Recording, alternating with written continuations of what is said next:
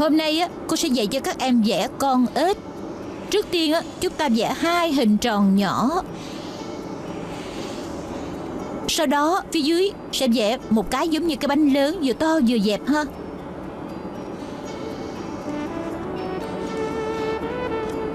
Chúng ta sẽ vẽ thêm tròng mắt cho con ếch nha. Vẽ đây nè. Sau đó chúng ta lại vẽ thêm một cái miệng cho nó ha.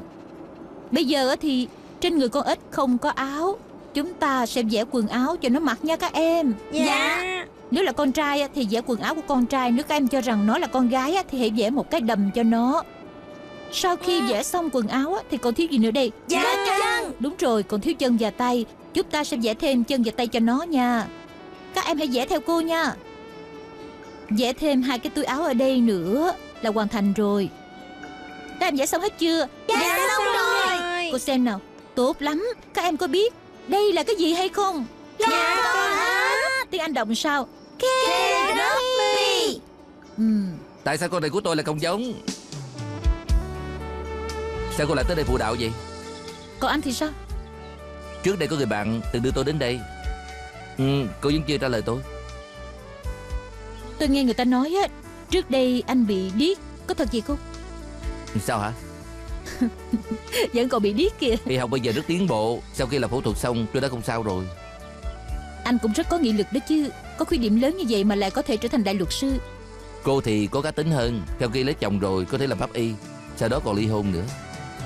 Kết hôn, ly hôn. Với làm pháp y hình như chúng chẳng có liên quan gì đến tính cách của tôi hết. Tức là không như phụ nữ bình thường khác. Đã có rất nhiều người tò mò về con người của cô đó. Vậy sao Một người bạn của tôi xem cô như là sinh vật lạ đó. Là ai vậy? Cô cũng quen mà Dư Tại Xuân. Ờ Để xem có cơ hội không. Nếu có cơ hội tôi sẽ nói chuyện thử với anh ta. Cô rất thích con nít sao? Anh không thích sao? Ừ, Tại sao cô lại ly hôn vậy? Quan hệ của chúng ta vẫn chưa thân tới nỗi Có thể nói với nhau chuyện riêng tư. Đúng vậy chưa thân lắm. Tôi tưởng là xin tự chi giao chứ Chúng ta đi tìm cha xứ đi Xem xem coi có chuyện gì cần chúng ta giúp đỡ không. Được rồi có nắng không Dạ dạ Nắng hả? Nắng lắm Dạ. Dạ. Bye bye. Dạ. Vậy đừng chơi lâu quá có biết chưa? Dạ Dạ biết. Vấn đề này không thể trốn được. Lát nữa gặp cha nhất định sẽ hỏi cô Tại sao ly hôn thôi. Tôi nghĩ là cha sẽ không nhiều chuyện như anh vậy đâu. Ông La Xin hỏi ông có quan hệ gì với bị cáo Lý Dĩ Thành? Tôi là nhân viên công tác xã hội phụ trách phụ đạo cho cậu ta Ông đã tiếp xúc với thân chủ của tôi được bao lâu? 7 năm. Có phải ông rất hiểu rõ về thân chủ của tôi? Cũng có tìm hiểu. Vậy ông hãy nói đôi nét về hoàn cảnh của thân chủ tôi. Năm Lý Dĩ Thành được 7-8 tuổi Thì má cậu ta có người đàn ông khác. Sau đó má cậu ta bỏ theo người đàn ông đó. Bỏ rơi anh em cậu ấy. Sau đó Lý Dĩ Thành vẫn luôn sống chung với anh trai và ba mình. Theo như ông biết Thì thân chủ tôi trưởng thành trong hoàn cảnh gia đình như thế nào? Lý Dĩ Thành đã lớn lên trong khu chung cư phức tạp Hoàn cảnh xung quanh vốn dĩ đã không được tốt. Cộng thêm quan hệ của ba cậu ta và người anh. Cho nên cậu ta đã sớm tiếp xúc với những sách báo đội trụy Với lại có những cái hiểu sai với người khác phái. Cậu ta từng nói với tôi Khi còn nhỏ Anh của cậu ta thường hay đưa những người bạn gái khác nhau Đưa về về nhà. nhà làm gì? Thực hiện quan hệ tình dục trước mặt cậu ta. Thân chủ của tôi có nói với ông Về những suy nghĩ của anh ta đối với những việc này không? Ừ, Có Cậu ta cảm thấy phụ nữ rất xấu xa Có thể tùy tiện theo đàn ông về nhà làm chuyện bậy bạ. Sau này quan niệm của anh ta có thay đổi không? Không chỉ không có Mà ngày càng sâu sắc hơn. Ông có biết nguyên nhân tại sao không? Bởi vì bạn gái cậu ấy có người đàn ông khác bên ngoài Mà còn đưa đến trước mặt của Lý Di Thành nói chia tay với cậu ấy. Sau khi chuyện đó xảy ra Thân chủ tôi có nói với ông về suy nghĩ của mình đối với chuyện này không? Có. Cậu ta càng khẳng định là tất cả phụ nữ đều không tốt Với lại cậu ấy cho rằng phụ nữ đều rất đê tiện. Ngoại trừ làm nơi trút giận cho đàn ông ra Thì không còn làm gì khác. Vậy lúc đó ông cảm thấy thế nào về mặt tinh thần của thân chủ tôi? Có xuất hiện vấn đề không? Phản đối. Thưa quan tòa Phản đối luật sư bên biện đưa ra câu hỏi mang tính chất dẫn dắt với nhân chứng. Thưa quan tòa Tôi không còn câu hỏi nào khác. Bây giờ cô có thể hỏi chuyện nhân chứng. Ông là Xin hỏi ông đã làm nhân viên công tác xã hội được bao lâu rồi đã được 12 năm rồi. Vậy trong quá trình làm việc lâu nay Ông có từng gặp những thanh thiếu niên giống như vậy? Những người đó có cùng cảnh ngộ và hoàn cảnh như bị cáo hay không? Có. Vậy những người đó sau này có phải đều giống như bị cáo Đều có cái nhìn cực đoan đối với phụ nữ không? Ờ cái này thì không. Cảm ơn ông. Thưa quan tòa tôi không còn câu hỏi gì nữa.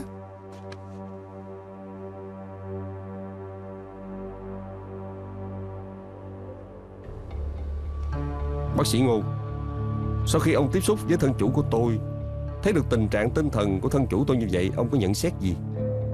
Sau khi trải qua nhiều lần tiến hành kiểm tra cho bị cáo Tôi phát hiện bị cáo có tư duy hỗn loạn Có khuynh hướng quan tưởng và nảy sinh ra ảo giác.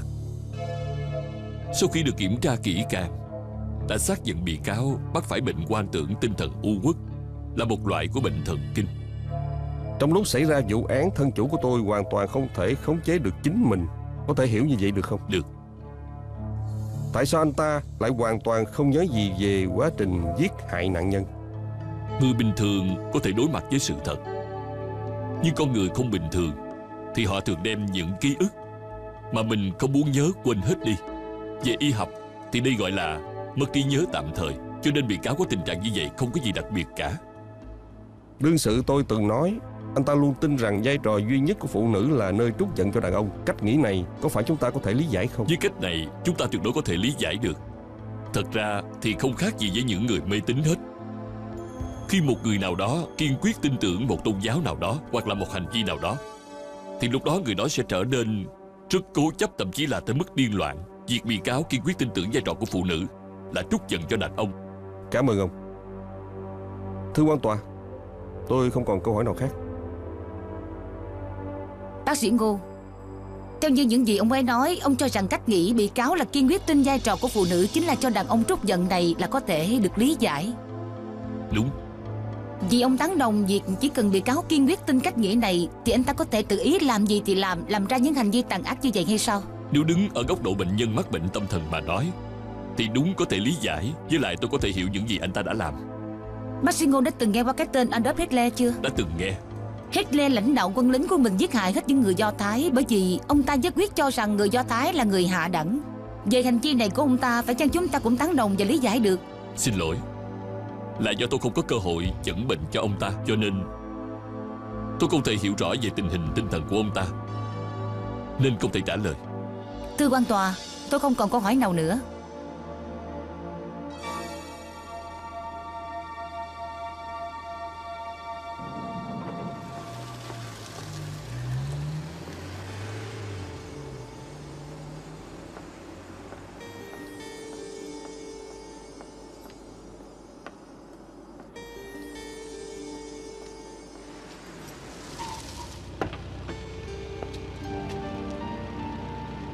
Xin lỗi Bây giờ là mấy giờ rồi?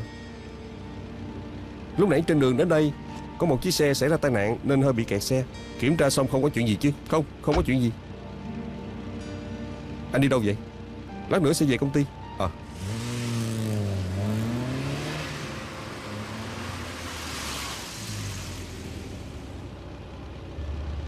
Gia Hiền.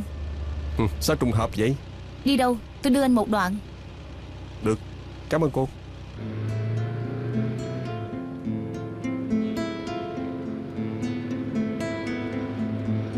Sao không nói gì vậy? Tránh sẽ nói gì sai thôi. Lâu rồi anh không hẹn tôi uống trà đó. Bây giờ còn có người muốn thấy tôi sao? Sao lại nói như vậy chứ? Bây giờ ai cũng cho rằng tôi là người xấu. Vì bản thân anh thấy sao? Thật ra người khác nhìn anh ra sao không quan trọng. Quan trọng là bản thân mình nhìn mình ra sao thôi Nếu như đã có dũng khí tránh né tất cả mọi người Tại sao lại không có dũng khí nói với tất cả mọi người Rằng anh không còn là Trương Gia Hiền trước đây nữa chứ? Sau khi ra tù Cô là người đầu tiên nói với tôi những lời như vậy. Tôi và anh là bạn mà. Ờ đúng rồi. Trước mắt làm công việc này có vui không? Cũng ok. Anh có từng nghĩ là sẽ làm lại những gì trước đây anh làm không? Ý cô là tôi có thể quay lại làm việc trong sở luật chính sao Văn phòng luật của bạn tôi gần đây có nhiều người xin nghỉ Cho nên cần tuyển người phụ giúp. Nếu anh có hứng thú tôi sẽ liên lạc giúp anh. Nếu như tôi không nhận lời Thì có phải không đúng lắm hay không? Tôi biết anh trước giờ luôn thông minh mà. Nè Cậu làm cái gì vậy? Có gì? Tôi quan tâm cậu thôi. Hình như tôi không có gì đáng để cậu quan tâm hết. Nè Nè Ngửi cái gì nó vậy? Đừng có động đậy Tôi ngửi xem người cậu có mùi xác chết không? Cậu biết đó Toàn thân choi đều có mùi của xác chết. Cậu mà đứng gần cô ta vậy tôi sợ cậu bị lây mùi đó. Sao cậu lại nói vậy được chứ? Cậu không cảm thấy gì à? Câu thật quá đáng đó. Tôi mà quá đáng? Tôi thật sự thấy vậy mà. Không lẽ ngay cả cảm thấy tôi cũng không có quyền à? Cậu quá thành kiến với cổ đó. Thì cứ coi như tôi có thành kiến đi. Thành kiến cũng không nhất định là sai. Cậu thử nghĩ xem Nếu một người phụ nữ bình thường Thì người đó làm sao lại làm nghề này Mà còn thích nghề này vậy chứ? Tôi không có gì để nói đâu Hay là cứ để cô ấy tự nói đi. Nè. Chào. Có hẹn với ai sao? Không có. Vậy ngồi chung đi. Chào. Anh không ngại chứ. À, Không sao. Cậu ta ngại đó. Cậu ta cứ nói là người tôi có mùi. Cậu ta đùa đó. Lúc nãy đang nói mà. Sao anh lại có cách nghĩ kỳ lạ như vậy vậy? Chẳng lẽ phụ nữ làm pháp y Thì tâm lý nhất định không bình thường sao? Ừ, Chỉ là hiểu lầm chút thôi. Đâu ra nhiều hiểu lầm vậy? Hình như tôi chưa từng ngờ nói chuyện với anh như vậy. Có thể vậy Sao Bây giờ có mùi gì không? Không có Hoàn toàn không.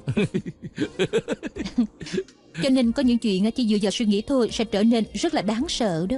Thì đúng rồi Tôi cũng thấy vậy cho nên tôi nói là hiểu lầm thôi.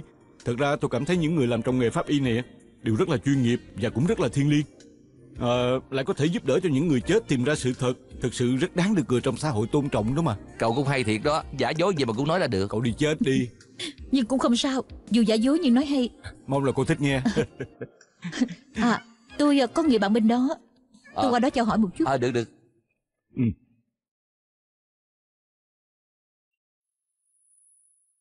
Nếu cô ấy không phải quái dị Thì làm sao mà lại nói chuyện với người ta vậy? Nếu cậu thích cô ấy thì mau đuổi theo đi Tránh để cô ấy chạy lung tung ngoài làm hai người khác Không có mùi hả? Mới bước vô cửa thì mùi xông thẳng vào mũi rồi. Tôi nói cậu mới là có mùi đó. Thưa quan tòa Các vị bồi thẩm đoàn? Tôi tin mọi người đều đồng ý. Không có người nào có thể được quyền cướp đi sinh mạng của người khác. Bị cáo của vụ án này Lý Dĩ Thành Tổng cộng đã cướp đi sinh mạng của ba người phụ nữ. Ngoài ra chúng ta còn có chứng cứ Chứng minh rằng mỗi một nạn nhân trước khi chết Tất cả họ đều bị cưỡng hiếp Ngược đãi và đánh đập tàn nhẫn. Tuy rằng bị cáo nói là mình có bệnh tâm thần, Nhưng bác sĩ tâm thần cũng đã chỉ ra rõ ràng là Khi bị cáo hành hung Là tuyệt đối tỉnh táo và biết rõ những gì mình đang làm. Cho nên bị cáo là có mục đích, Có kế hoạch, Giả lại còn biết rõ mục tiêu làm sao để tìm ra nạn nhân, Tức là đối tượng cho anh ta làm giật trút giận rồi giết hại. Thời gian đó với nhiều người có thể không làm được gì hết, Cũng có thể sẽ không mấy trân trọng. Nhưng với ba nạn nhân của vụ án thì Sinh mạng quý giá của họ Chỉ bị mất trong thời gian một phút ngắn ngủi đó thôi. Các ba nạn nhân đều bị nứt xương họng, ngạt thở mà chết. Theo chúng tôi suy đoán, Khi hung thủ bắt đầu quyết định giết chết ba nạn nhân thì Khoảng thời gian từ lúc nạn nhân chống cự phản kháng cho đến khi tắt thở Cũng chỉ khoảng một phút. Ngay lúc này tôi muốn mọi người tự nghĩ đến cảm giác đó một lần Để hiểu ba nạn nhân đó Làm sao để trải qua giây phút đau khổ nhất. Của cuối cuộc đời mình. Bị cáo chính là dùng một phút này cướp đi sinh mạng quý giá của họ.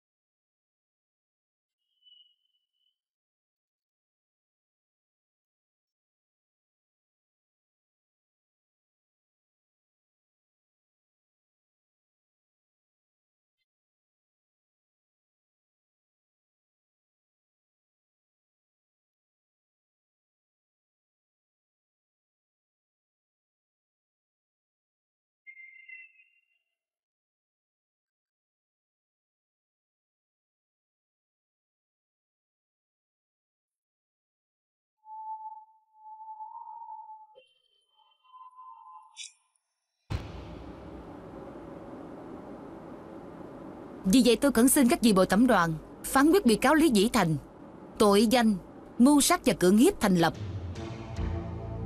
Luật sư bên biện Anh có thể bắt đầu lời kết án của mình.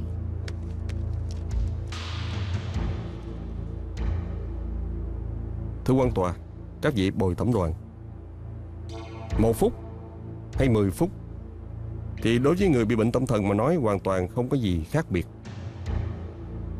Bên khống vẫn luôn có ý chỉ ra khi xảy ra vụ án thân chủ của tôi biết rất rõ những gì anh ấy đã làm.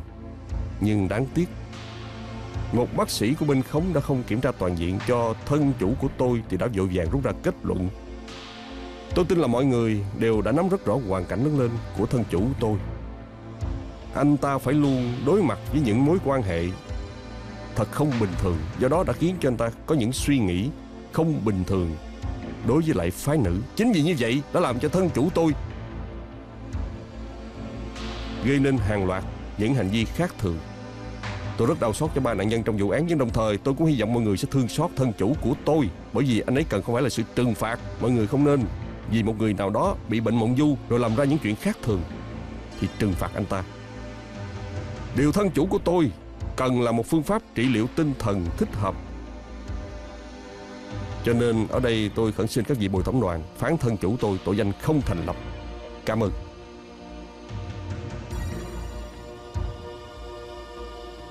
Thưa quan tòa, chúng tôi đã có kết quả rồi.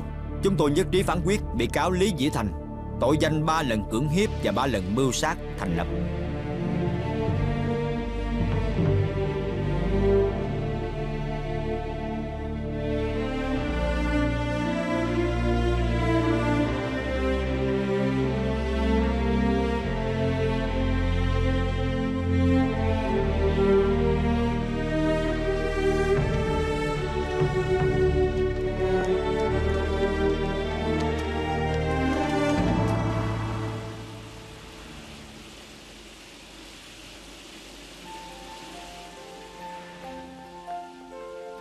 Bà xã Ủa Nghe nói hôm nay Kevin chết không toàn thi Vậy thì đã sao Thỉnh mừng cho em Trong thời gian làm gì anh thường vui mừng vậy sao Em biết là tại sao anh lại vui mừng mà Biết còn hỏi hả? Chào. Chào Dự tính đi đâu ăn mừng?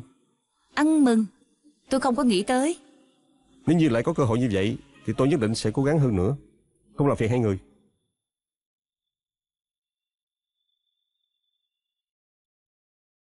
Nhìn mặt hắn hình như là không phục em.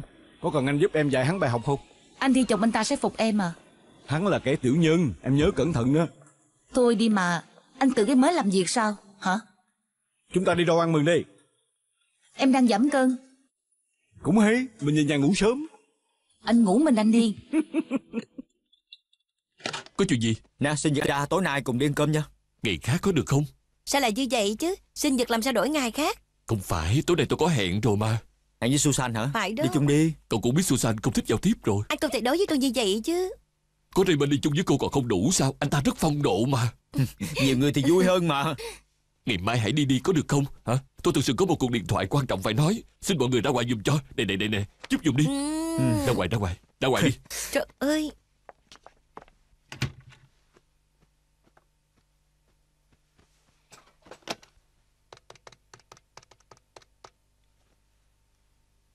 Susan Michael đây Tối nay chúng ta thế nào? Sao vậy? Em xin lỗi. Cách nào đột nhiên có chuyện muốn bàn với em Em không đi được đâu. Ok. Tối nay em sẽ gọi cho anh nha. Tạm biệt. Michael hả? Đúng vậy. Cha anh ta rất giận. Em cũng vậy. Anh cũng hiểu. Anh tưởng là em sẽ không tới nữa Nếu không phải anh nói là anh sẽ rời khỏi Hồng Kông Em nghĩ làm sao không ra đây đâu. Anh biết là em không tin anh nữa. Nhưng anh nói thật Anh cũng bị đám người đó bán đứng thôi. Anh sẽ không lo cho bọn họ nữa. Thôi bỏ đi Chuyện qua rồi đừng nói nữa. Em giúp anh hết lần này tới lần khác. Anh thấy có lỗi với em. Thật ra trước đây anh cũng giúp em không ít. Nếu dự tính thì Em nợ anh càng nhiều hơn Đúng rồi Em và Michael có gì chuyện này của anh Mà làm cho hai người buồn không? Vậy thì không có. Michael ảnh rất hiểu chuyện. Vậy thì tốt rồi. Ờ đúng rồi Anh qua Singapore làm gì vậy? Ờm, Anh có người bạn mở công ty Nó muốn anh qua đó để phụ nó một tay thôi. Cũng tốt đó. Ở bên này Không thích hợp cho anh phát triển. Qua đó rồi vẫn liên lạc với em? Nhất định rồi Nếu như anh muốn em giúp anh chuyện gì Thì cứ đến tìm em mọi lúc. Anh không có sáo đâu Đến lúc đó đừng có từ chối nha. Sao đây? Có thể đi được chưa? Cậu phải nói không đi sao? Chắc chắn là Susan không rảnh rồi. Sao chứ? Sinh nhật của Ada mà không đi? Có nghĩa là không nể mặt cô ấy đó. Nó giỡn Tôi thôi đi, mà. tôi đi toilet đã. Nè nè nè nè. Cụ dám giận mặt Tôi đâu có sao? dám chứ. Lát nữa đi hôn. Tôi làm xong rồi. Nè. À Vĩnh Kiện Sinh nhật Ada cùng đi ăn đi. Ừ, Không đi đâu Tôi có việc rồi. Có chuyện gì? Tôi phải đi mua dao cạo râu. Ê, Chúng tôi đi mua với anh thì được rồi chứ gì? Má đã nấu cơm cho tôi rồi. Ờ, có phải là không về ăn cơm sợ bị má la có đúng không? Nè Ừ. anh có đi chung hay không hả? Anh nói phải đi mua dao cạo râu. Chúng tôi đi mua với anh được không? Má anh ta nấu cơm rồi. Anh gọi điện về đó một tiếng là được rồi mà. Không về ăn cơm sợ bị má la đó. Anh sợ má la hả? Thật hay không vậy? Có phải là không để mặt hay không? Ừ, Không phải Thật ra tôi cũng có thể đi được. Thiệt không? Ừ. Vậy đi đi. Đi thôi. Nhanh lên. Nè, đi. đi thôi đi thôi. Đi ăn cơm. Nè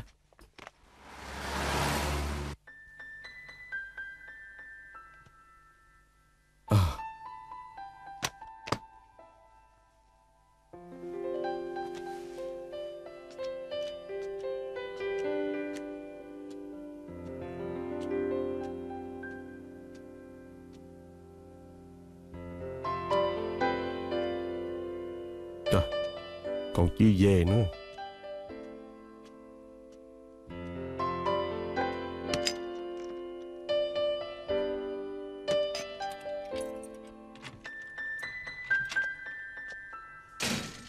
Ủa? Ừ, ừ. Hiếm khi Ừ. anh về trễ như vậy.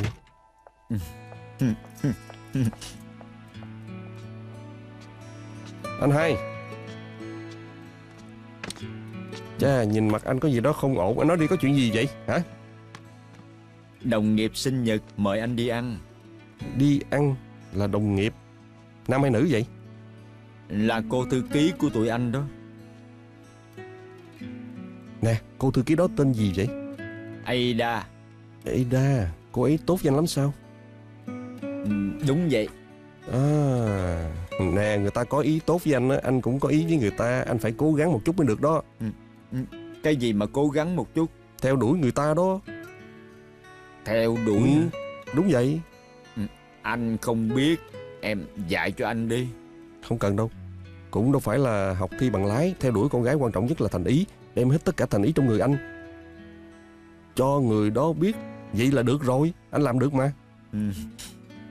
Người ta thích Ừ. anh hiền lành thật thà. Anh nhất định sẽ làm được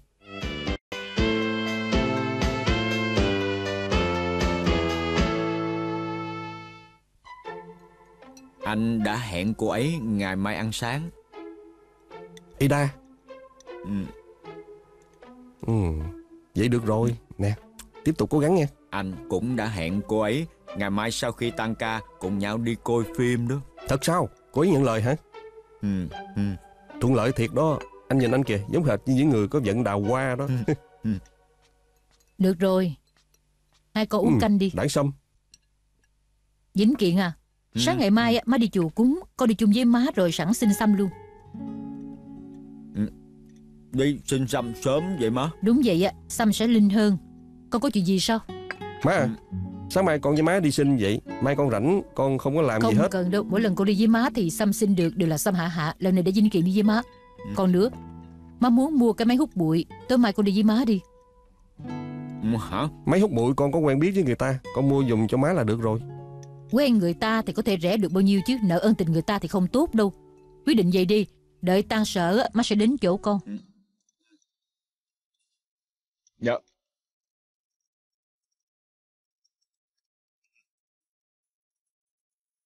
Con no rồi Hai người cứ từ từ ăn.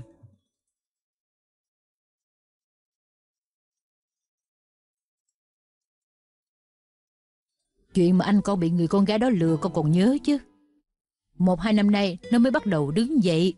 Làm lại người đàng hoàng Con lại ở kế bên nói bậy. Vậy nó theo đuổi con gái có phải muốn nó tét thêm lần nữa không? Má Con cũng chỉ là quan tâm anh hai thôi. Nếu như con thật sự quan tâm nó Thì không nên dạy nó làm chuyện không đâu nữa. Nó có thời gian á, thì con đưa nó tham gia đội tập huấn luyện thể chất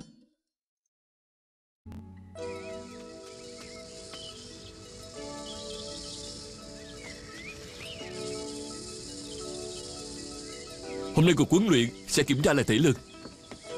Xin lỗi sếp Em đến trễ. Các bạn phải bắt đầu từ đây leo tới ngọn núi kia kìa.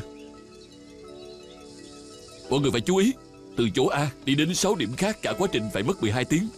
Nếu có người nào không thể chịu đựng được trên đường Thì có thể tự động rời khỏi bất cứ lúc nào. Thật ra người có thể lực tốt không nhiều Nếu cố gắng không nổi thì không nên cố sức quá. Mọi người còn có vấn đề gì không? À, không có gì nữa. Không có gì. Ok, nếu không có gì thì bây giờ xuất phát đi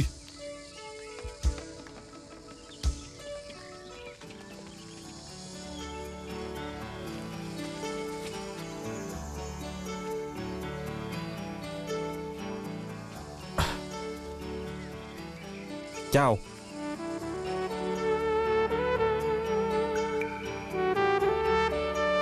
Hình như trước đây chưa từng gặp cô. Đúng vậy, lần đầu tiên tôi tới thôi mà. Cực lắm đó Cô chịu đựng nổi không? Có thể là được. Công việc của cô là gì? Còn anh, Tôi làm việc ở sở luật chính cho cô danh thiếp nè.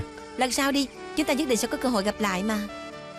Thật ra lần này coi như là thoải mái rồi. Mấy lần huấn luyện trước rất cực khổ. Nhưng cô đừng lo Tôi sẽ giúp đỡ cô Đừng lo lắng nghe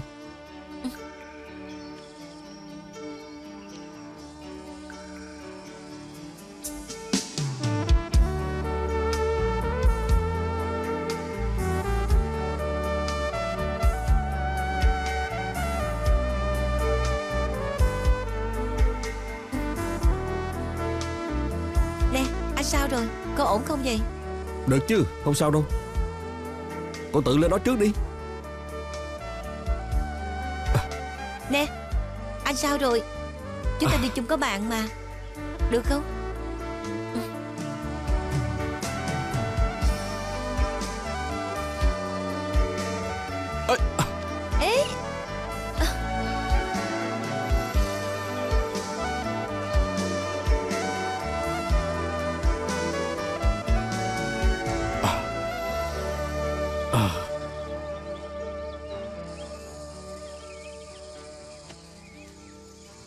Sao rồi? Uống cho của tôi đi. Tôi chưa uống đâu. à, Cảm ơn cô.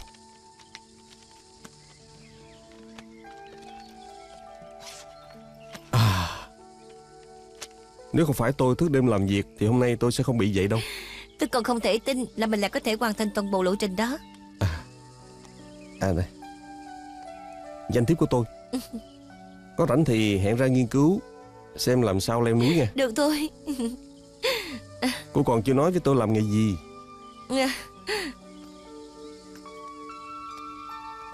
Nè.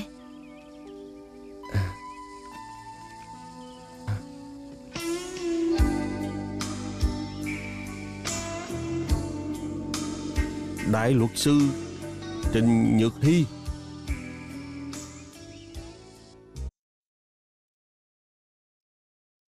Ừ, Không hiểu được nha Món đơn giản như vậy, em nấu thì lại ngon đặc biệt.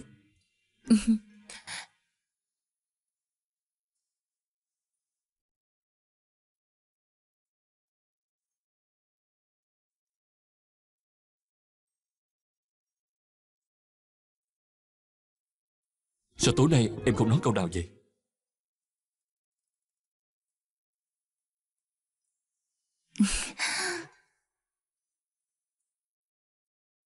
Em sợ là sẽ làm anh sợ. Làm anh sợ? Sợ chuyện gì?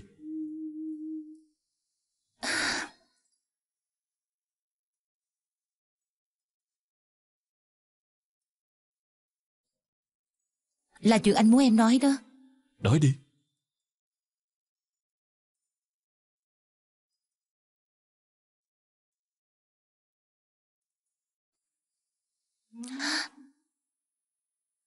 Em có thai rồi.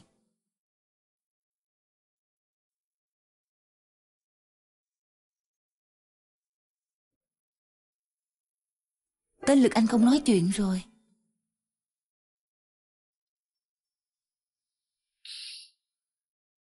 Vậy là sau này chúng ta chắc là có rất nhiều chuyện phải chuẩn bị sao? Chuẩn bị cái gì? Đương nhiên là thông báo cho má anh với Helen biết rồi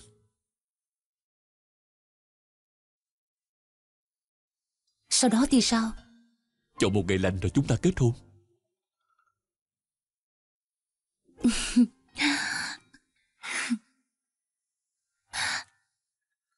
Còn gì nữa?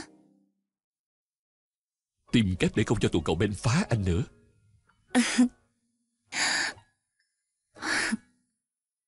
Chỉ có nhiêu đó thôi sao? Còn nữa Chúng ta nên uống rượu chúc mừng Ok. Hết rượu rồi. Để em đi lấy ha Được.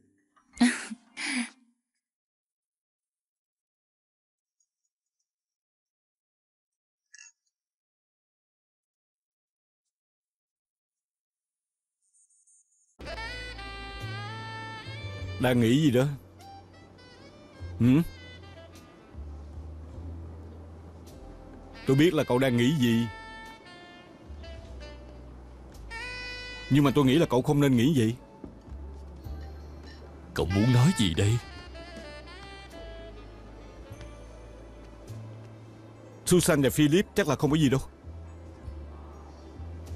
Tôi chưa từng nói Susan và Philip Hai người họ có chuyện gì. Lại gì nữa đây?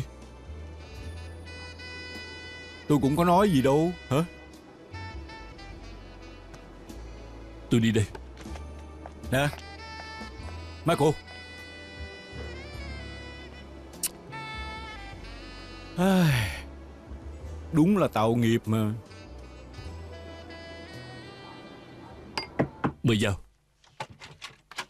Chào Còn chưa xong sao? Cũng gần xong rồi Susan. Nè Tối qua anh gọi điện thoại cho má và Helen rồi. Hai người họ nói sao?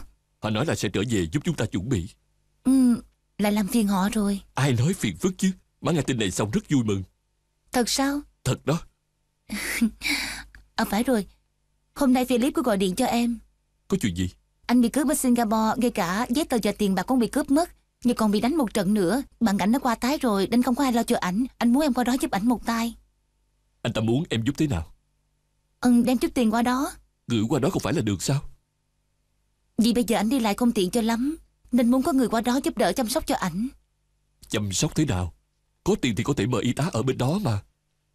Ừ em cũng muốn qua đó xem ảnh ra sao. Nếu em đã quyết định qua bên đó rồi Nói nhiều như vậy với anh làm cái gì nữa? Anh sao vậy hả? Anh không sao. Susan Nếu bây giờ anh nói với em Anh không muốn em gặp hắn nữa Em có nghe không? Nếu như có lý do rõ ràng thì em sẽ nghe anh. Lý do là anh không muốn em gặp anh ta nữa Em xin lỗi Đó không phải là lý do. Nếu em tôn trọng anh thì đó là lý do. Vậy còn em Anh có từng tôn trọng em không? Trước giờ anh luôn luôn tôn trọng em. Anh chỉ mong là bạn gái của anh không gặp người yêu cũ trước đây nữa thôi Như vậy cũng là sai sao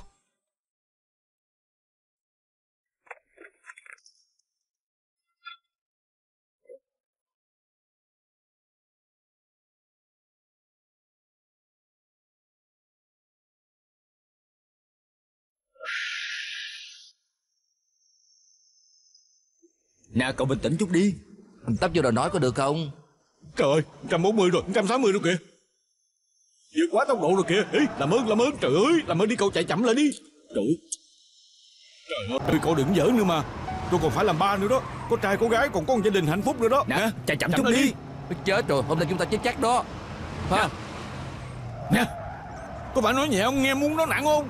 Tôi bắt cái sáng à Thấy chưa? Có chuyện rồi kìa. Có thấy ói quá à Cậu ta muốn ói kìa dừng xe đi dừng xe đi. Dừng xe ói. Trời ơi. Dừng xe dừng xe.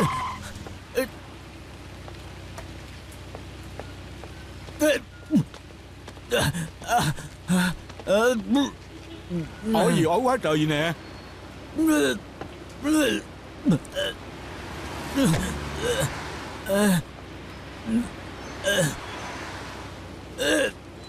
Cậu cũng sao chứ Susan chỉ muốn giúp bạn bè thôi. Cô làm gì giận dữ vậy?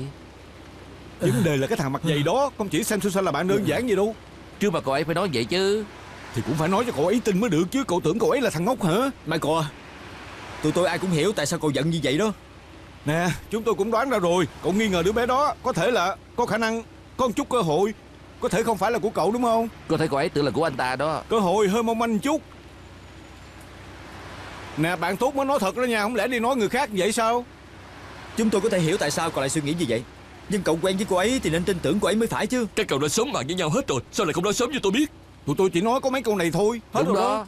Bởi vì tôi không muốn mình suy nghĩ lung tung Nên tôi mới không muốn Susan đi qua đó gặp Philip Các cậu có hiểu không? Có gì khó đâu hả? Nếu cậu quan tâm á, thì qua đó cùng cô ấy. Đúng rồi, cái sẽ có thôi Cậu đừng có nóng giận quá. Thôi đi, đi thôi. Tôi không nói với các cậu nữa Tôi đưa các cậu về nhà. Ờ. Tôi đi taxi. Trời đất Cái kỳ cục vậy. Anh em với nhau Nếu có chết thì mọi người chết chung. Trên thế giới này tình bạn là quan trọng nhất mà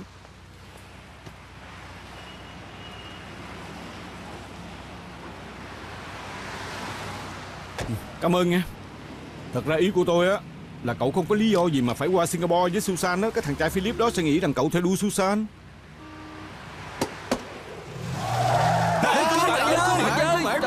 Từ từ thôi Ôi nữa, ôi nữa, ôi nữa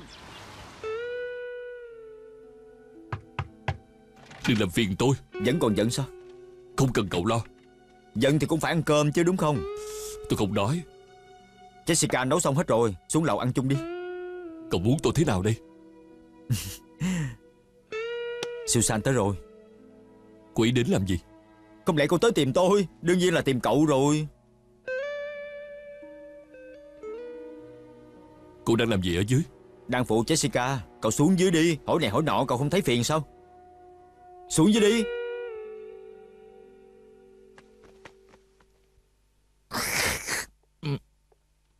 Jessica. Ngon quá Anh ăn nhiều một chút đi. Hai người cứ mau xuống đây ăn đi. Xuống rồi đi xuống rồi. Nói con nghe một bí mật nè. Gì vậy? Thì ra Jessica nấu ăn rất giỏi đó. Chuyện này tôi biết rõ hơn cậu mà. Không phải là dễ nuôi đó chứ. Cậu thật có phúc ăn đó hôm nay cậu được thử món cô ấy làm. Có cần phụ gì Không không, cần đâu cũng gần xong hết rồi. Cậu ấy không hỏi em đó chứ. Ừ, Không phải hỏi em đâu. Em không biết có đủ ăn không. Nhiều như vậy sao lại không đủ chứ? Em ăn gì? Anh gấp cho em Gì cũng được. Cảm ơn. Em quyết định không qua Singapore nữa. Em uống gì? Chút rượu vang đi. Cảm ơn. Sao đây? Chưa từng thấy có người như vậy sao? Cậu với Jessica cũng làm được mà. Được. Nè nè Mở miệng ra. Ừ. à, ừ, Tôi ăn nữa hả? À, Cho anh cái muỗng nè.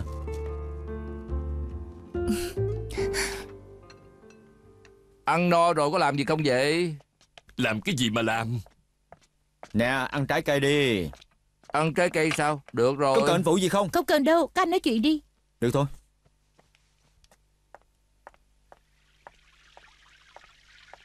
Đi bác sĩ khám chưa? Khám rồi Sau này đừng có ham làm mà phải nghỉ ngơi nhiều đó. Ừ. Thật ra Michael rất lo cho cô Nên đừng giận anh ấy nữa. Tôi biết rồi. Sau này nếu như có thể thì đừng nhắc đến Philip trước mặt ảnh nữa nha. Chính vì vậy mà tôi không sao hiểu được. Tôi biết ảnh lo lắng cho tôi lắm Nhưng không cần phải phản ứng mạnh như vậy.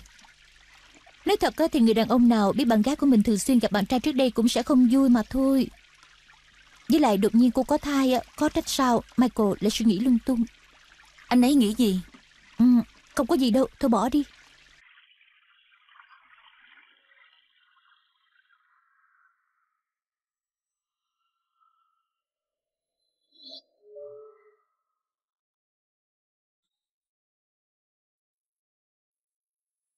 Sao rồi Susan Em không khỏe hả?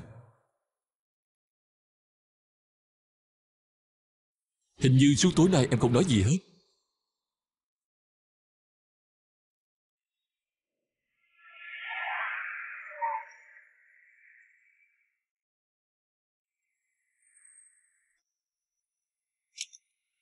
Susan. Susan.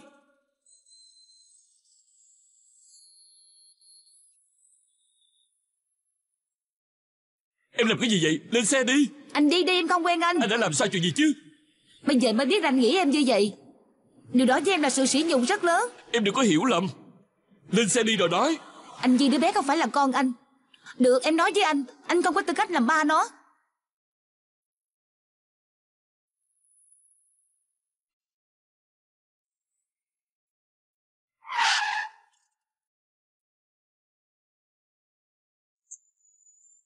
Susan Nghe nói đi. Không nghe. Vậy muốn anh phải làm sao đi?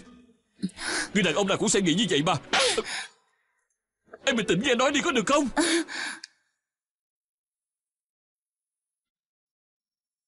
Đúng vậy. Anh từng nghi ngờ như vậy. Nhưng sau đó anh nghĩ là anh không nên nghĩ em như vậy. Với lại anh cũng có kế hoạch sẽ đám cưới với em rồi. Anh làm như vậy thì có nghĩa là anh rất có thành ý cưới em rồi. Bây giờ em không muốn kết hôn với anh nữa. Không cần anh phải cố gắng như vậy đâu Susan. Những gì cần nói anh đã nói hết rồi. Em không chịu cho cơ hội thì thôi vậy.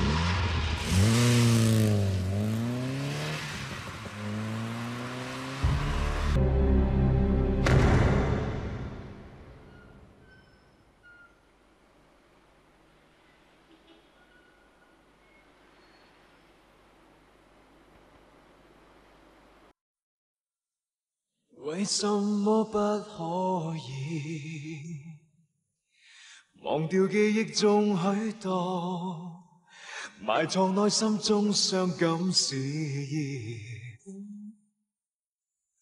为什么不可以重新将心清洗一次？如从头活过一切再开始，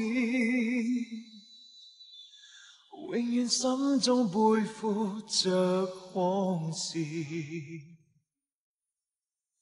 何以我说已行难太不智？旧记忆讲不出有多重。时刻隐隐作痛，常无意早触碰。旧记忆全没法解释心理。假使有日为了你，假使有日能忘记，因你。